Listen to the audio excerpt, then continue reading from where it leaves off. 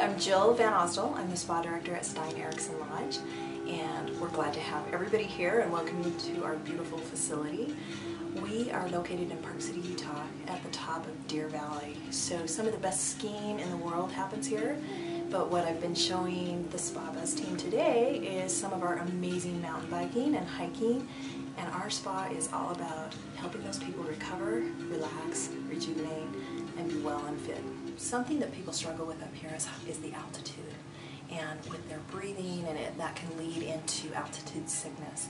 So a lot of our treatments are geared to help with breathing and to help making sure they get the most experience that they can possibly get. So we have a beautiful high altitude oil, we have high altitude scrubs and bath teas. The other thing is recovery. So they've been on the mountain, they're mountain biking or skiing, and they're in so much pain because maybe they don't do that for the rest of the year.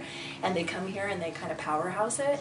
And the first thing they want to do is enter into a hot tub or steam room or sauna. And so we try and educate them on using cold therapy mixed with warm therapy and doing those different thing, treatments. Now one treatment I'd like to talk about that I didn't introduce you to today was our cold therapy stone treatment. And so we actually use cold stones on the calves of the legs where they're really sore, but yet we have a nice warm pack on the back, and that's pretty amazing. It also comes with a muscle soak in one of our jacuzzi tubs that we utilize some herbal teas.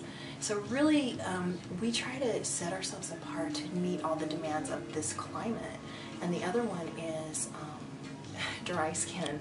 It is so dry, there's no humidity here, um, your skin literally almost falls off. And so for people coming from these tropical or humid areas, that is a big concern. They'll get here and they are looking for moisture and lotions and scrubs. And so we really target that with some of our wellness treatments and our herbal wraps and some of our, um, a lot of our product line is designed around that. So that it's very hydrating and moisturizing, but we also have to look at the element of where are they going to return to. So we kind of want to know, especially with skincare, where are they from? What are they going to be in all the time?